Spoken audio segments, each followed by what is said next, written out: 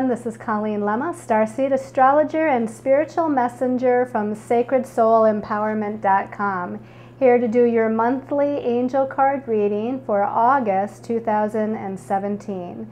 And this is going to be a very powerful month. We have a full moon lunar eclipse happening, a new moon solar eclipse happening. There's a lot happening in this month of August. So let's go ahead and get started by telling you what card decks we're going to use and what your stones of choice are for your special message card.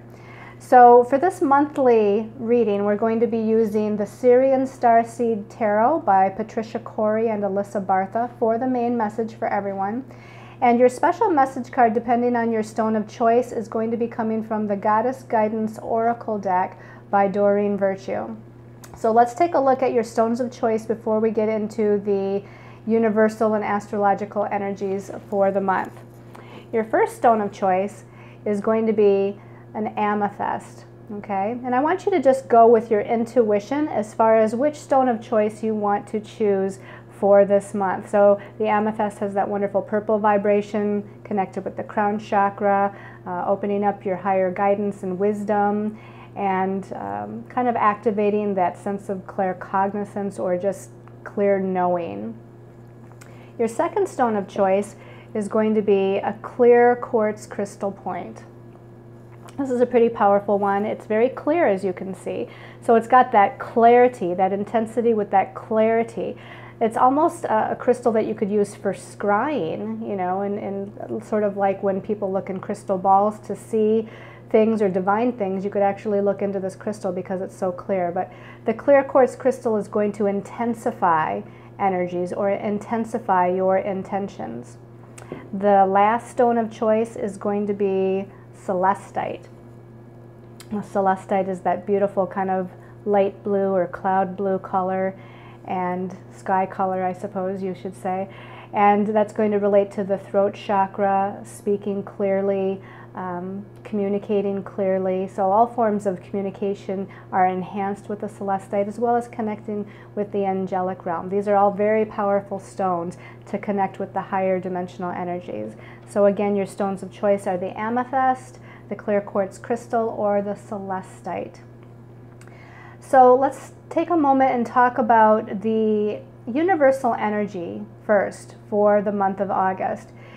Again, if we think about what universal year we're in for the year 2017, 2017 as up to a 10, we reduce that down to a 1. So we've been in a 1 universal year as far as the collective, the planet, and which is about new beginnings.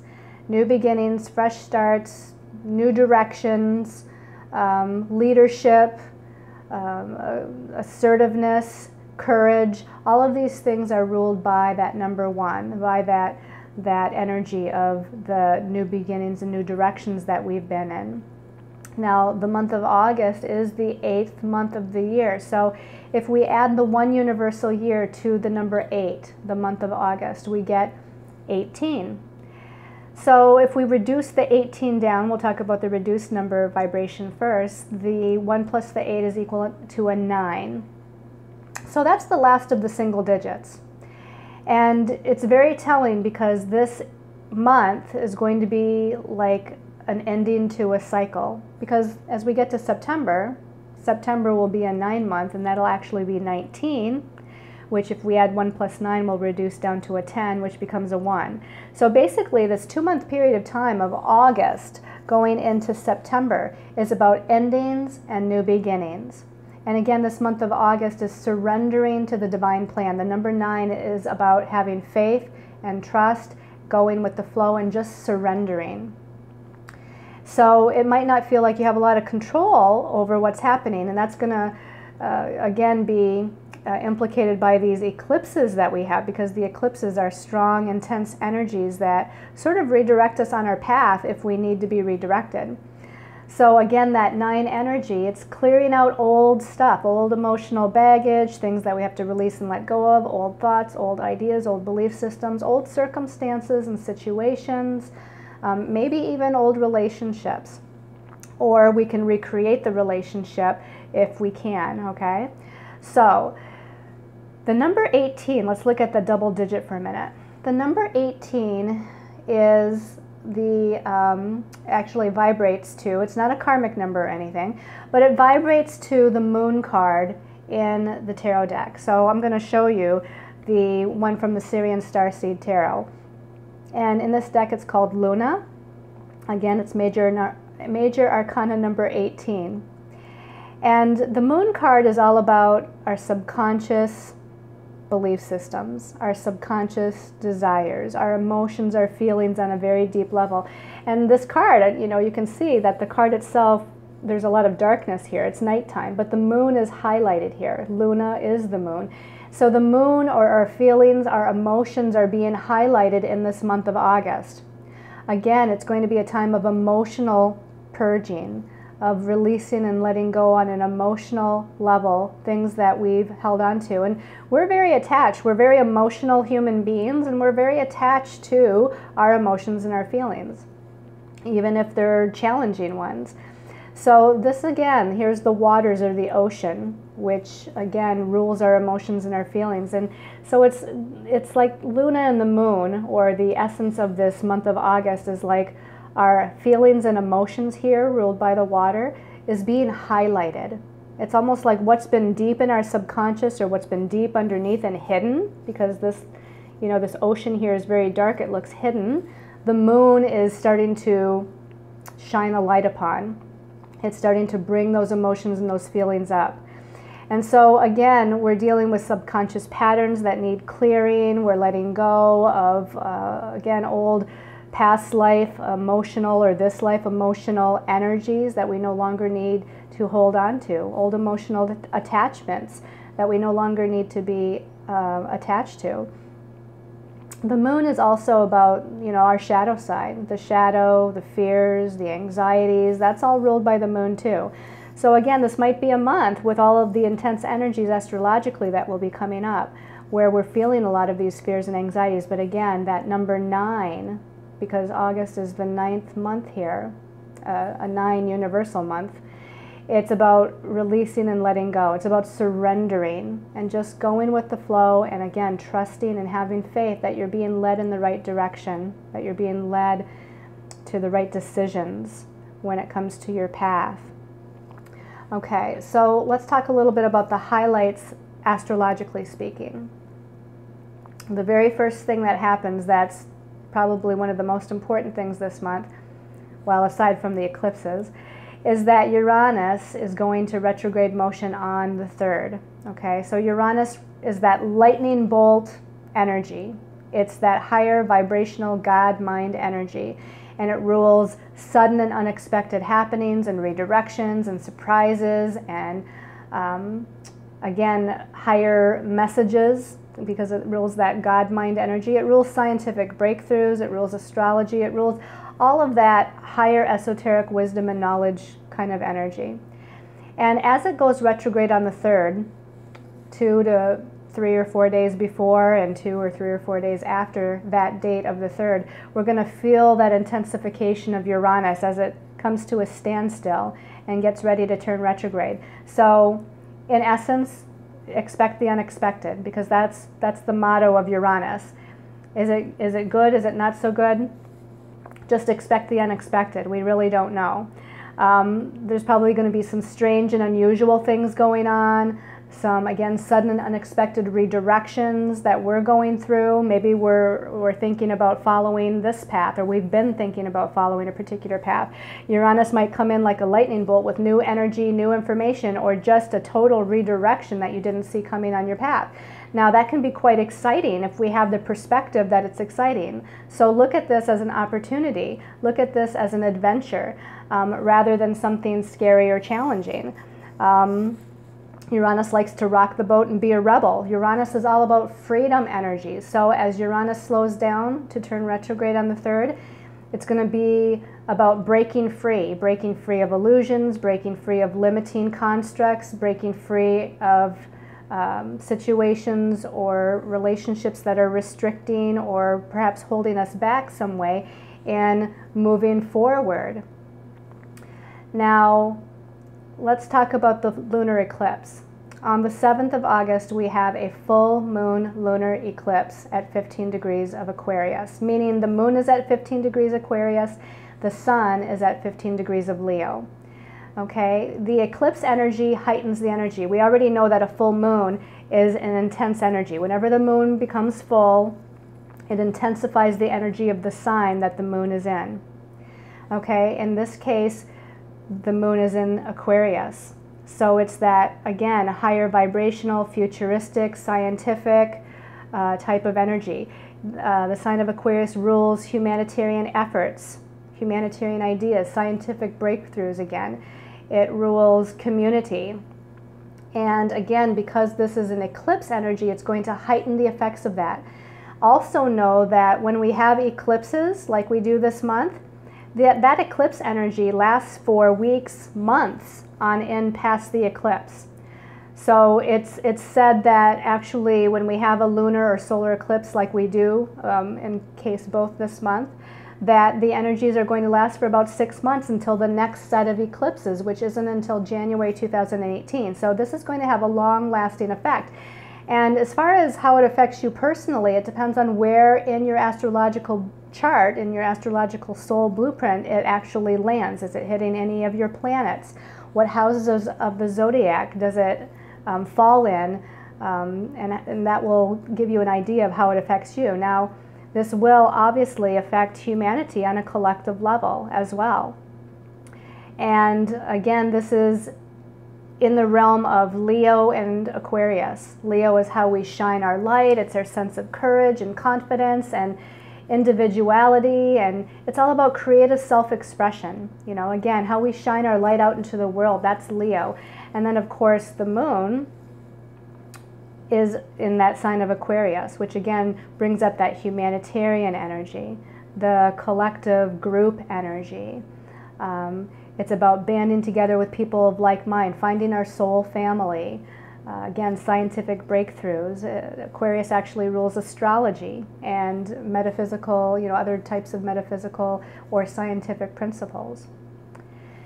Now, we do have a Mercury retrograde that's coming up this month. Mercury will actually turn retrograde at 11 degrees of Virgo on the 12th of August. Now, it actually went in, into its shadow towards the end of July, so you may have already, um, as of the last week of July or so, started feeling some interesting things happen with communication and networking and um, your, you know, again, thoughts and ideas.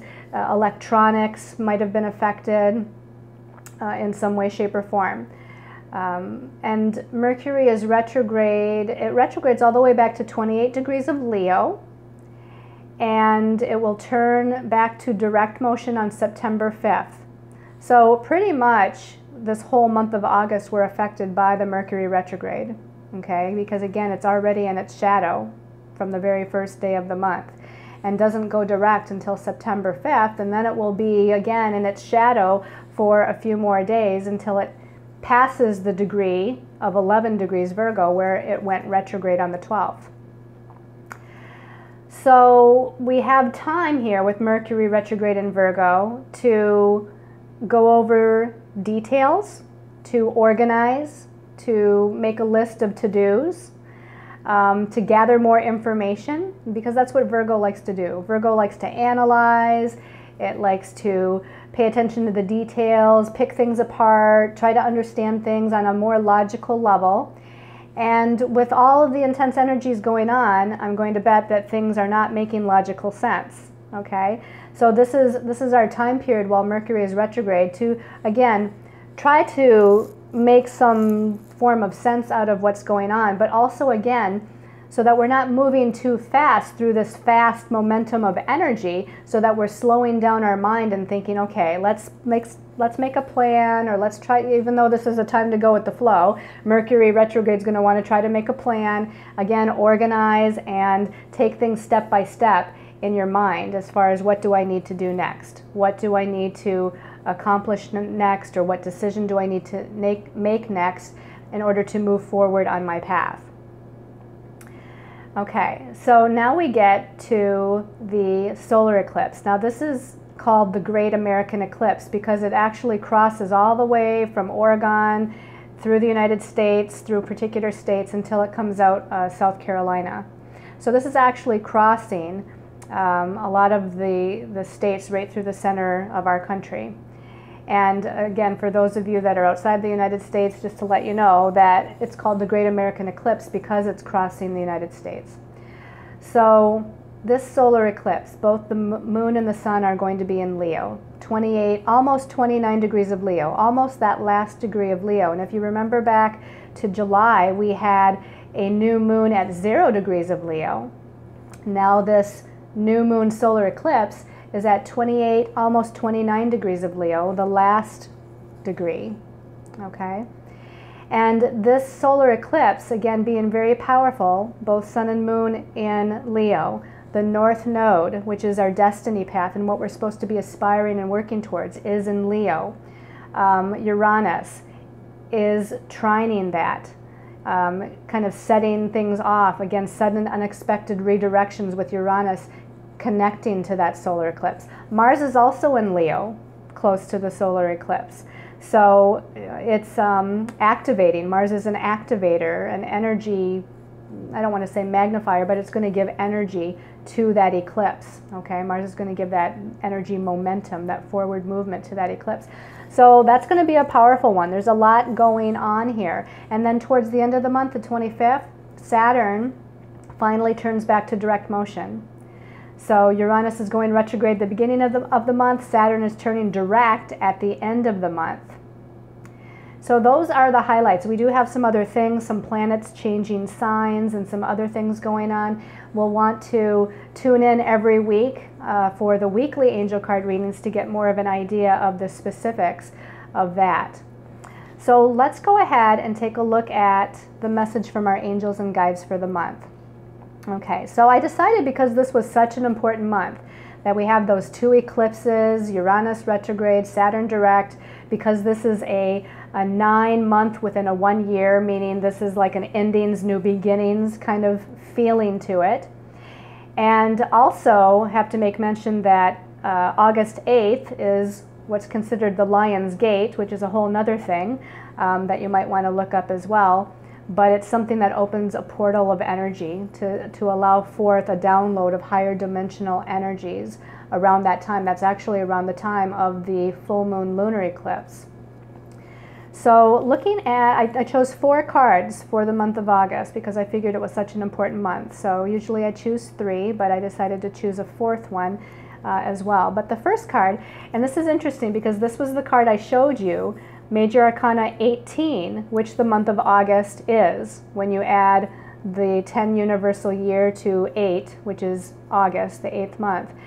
This is actually the first card that truly did come up. When I meditated and I shuffled the deck, this was the first card for the month. So we already talked about this card, emotions, feelings, subconscious patterns, surrendering, um, bringing things to light so that you can release emotional baggage and let go of things. That's in a nutshell what this card is about. That's what this month in part is going to be about. So again, it's going to be emotional. So let's go ahead and turn over the second card. Okay, so the second card is the Ten of Flames. Now, the Ten of Flames in the traditional tarot, it's the Ten of Wands or the Ten of Fire. And the traditional meaning of the Ten of Flames often feels like you're carrying a burden and soon that burden will be lifted. Okay? And if you look really closely, I don't know how well you can see because the card is actually pretty dark. It may seem like it might be my lighting, but the card actually is dark. But there's a figure here, and the figure is holding a flame. And actually, he's got 10 other uh, wands or flames right here, but he's walking up a staircase. Can you see? The staircase, again, is really shadowed and dark, but he's walking with this flame and he's moving up the stairs towards the light, okay? So this is like carrying, again, a heavy load, carrying a burden, feeling almost like you're at the end. You know, that's kind of what the feeling of the Ten of Wands is. But this is telling you that there's light ahead. There's a light at the end of the tunnel, tunnel that you're soon getting to the end of whatever that burdensome, heavy, restrictive energy is all about. Because the 10 is the last number in the minor arcana before we get to the court cards the page, the knight, the queen, and the king. So because this is the last number, we're getting to the end of something. Again, he's climbing the steps. It might be challenging, burdensome. He might feel really heavy, but he's he's getting to the end of his journey of carrying that burden and he's going towards the light where it's going to be lighter and brighter, where there's going to be something to look forward to. Okay? And again, this kind of follows all that emotional upheaval of the Luna card, the moon card. So that can kind of bring about that feeling of heaviness too, that burdensome energy of carrying that emotional burden, carrying all the emotions from the past and from past lives and from karmic belief systems and maybe trauma energies from other lifetimes. You know, again, we're doing a huge purging. Yes, you know, we're kind of in a continue, continual journey of purging, releasing, growing, evolving, expanding. But this month, again, with these eclipse energies and the uh, Uranus retrograde, Saturn direct, this is really a huge, huge turning point for us. So let's let's see what the last card is. It'll be very interesting to see. Well, I should say the third card. The third card. Okay, the third card is actually Major Arcana 0, and it's called Starseed in this deck. Now, in the traditional tarot, this is the Fool card. Major Arcana 0 is the Fool. And the Fool is on the beginning of a new journey, okay? And so, like I said, this is kind of endings and new beginnings all rolled up into one. And yes, it might take us six months from here as these eclipses are in effect, that eclipse energy is in effect for about six months until the next set of eclipses. So it's not, the new beginnings aren't all going to happen at once. We might see a glimmer of them. We might see the redirection. Again, this is kind of a fireball falling down from the sky. It's a star seed, okay? That star seed is kind of lighting the way to a new adventure, a new beginning. And it takes trust and faith to start out on a new beginning. So we're going to have to, again, surrender this month, go with the flow, but have trust and faith that we're being led in the right direction, just like with the Fool or with the Star Seed here. It's going to be a wonderful new adventure, you know, and, and this, again, this has the feeling of the Star Seed is coming down to a new planet, okay? New planet, new energy, new direction, new situations, new circumstances, new soul family coming in with the Star Seed card okay? But look at it from a standpoint of it being uh, a time of adventure, a time of opportunity, a time of excitement. Now, we could look at it as it's scary because we don't know what's ahead, what lies ahead, but let's look at this as being exciting instead. So let's look at the fourth card. Let's see what the fourth card has.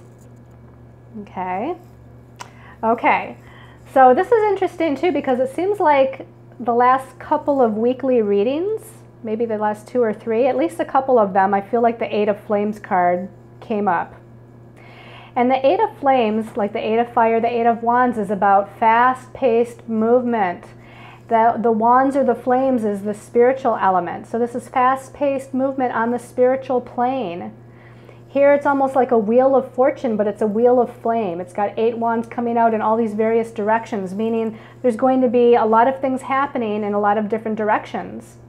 Many things happening at once. Many things happening quickly and fast. And that's part of Uranus going retrograde as well. Uranus retrograde, lightning bolt of energy, sudden and unexpected redirections.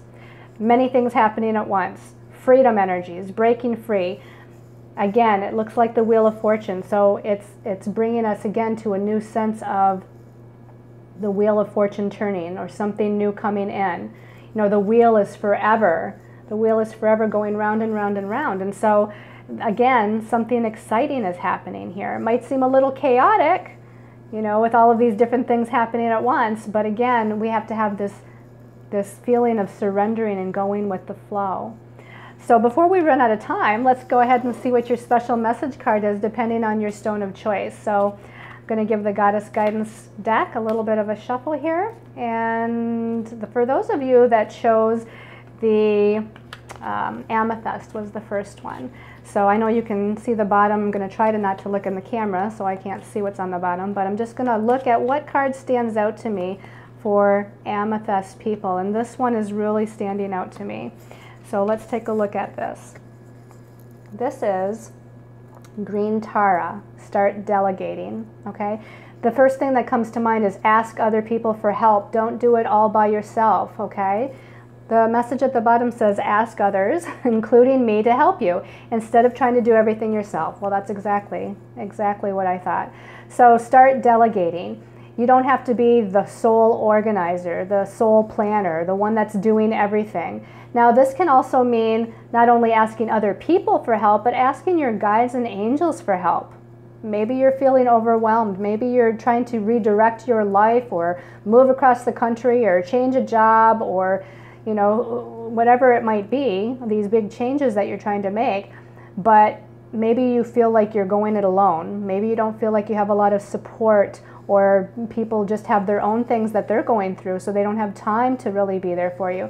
That's okay. You've got a whole entourage of angels and master guides and healers of the light to call upon to assist you. So not only calling upon Green Tara to help you, um, you know, to reorganize or to uh, delegate uh, things out, delegate them out to the archangels, the ascended masters, the other goddesses uh, to help you to move through things. But again, ask other people, friends, family. Maybe you just need some emotional support. Maybe you need some ideas. Um, maybe you need some feedback or someone to just listen to bounce things off of. So again, don't feel like everything has to be done all by yourself. All right, so for those of you that chose the clear quartz crystal, okay, this one right away stands out. Clear quartz crystal people. Ooh, I love it. Aine, leap of faith. And it says, take a risk and put your heart's true desire into action. And look at how she's putting her hands up to the sky and she's just kind of in that surrendering mode. She's kind of surrendering and she's reaching up and just saying, okay, wherever you want to take me, whatever I'm supposed to be doing, take me there. She's taking that leap of faith and she's allowing herself to be led in the right direction. So this is what you need to do this month. Now take a risk. It doesn't mean to uh, not plan or to not weigh options or things of that nature, but this is going to be a little bit of a risk-taking month for those of you that are, again, it's like the old way isn't working or um, I'm not content, I'm not excited about life. It, it means make a change. Uranus retrograde is going to be like you wanting to break free and making some sort of a change in your life. So allow this energy to come in and maybe take that leap of faith and take that risk to make some sort of change, and you'll be a lot happier for it. So for those of you that chose the Celestite, let's give these a little shuffle here and ask for Celestite. This one's calling my attention. Hathor and receptivity. Okay, and this says, allow yourself to receive. This will increase your intuition, energy, and ability to give to others. You know, that aspect of surrender that we're in for the month of August, that is to be receptive. That's what surrendering is all about. When we surrender to the divine plan, when we surrender to divine timing, it means being receptive and allowing yourself to receive the blessings the universe has to offer. There's times in our life where we have more of an ability um, with the energies to direct our lives, to take charge, to make things happen. And then there's other times where we just have to, again, let go and go with the flow and allow things to unfold naturally. This is one of those times for everyone, but especially for Celestite people. Let go and be receptive and allow things to just come, allow things to come. Um, I also get a very emotional feeling about this card. So again, I feel like your emotions really are somehow at play, um, kind of releasing. I feel like there's a lot of releasing of old emotional energies that's happening with, with you all in this month. Okay, so I hope you've liked this monthly angel card reading. Thank you for all of you that comment and share and subscribe. I send you all much love and light and much emotional support and spiritual support, and sending you many, many blessings. Until we meet again, namaste.